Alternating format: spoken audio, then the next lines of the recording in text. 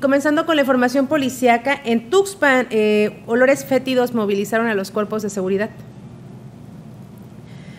Olores nauseabundos que emanaban de una bodega abandonada ubicada en la zona centro de Tuxpan provocó la movilización de corporaciones de seguridad que al final determinaron que se trataba de un animal en descomposición. Los hechos ocurrieron en una bodega en desuso ubicada en la calle Doctor Sosimo Pérez, entre la avenida Benito Juárez y el Boulevard Jesús Reyes Heroles.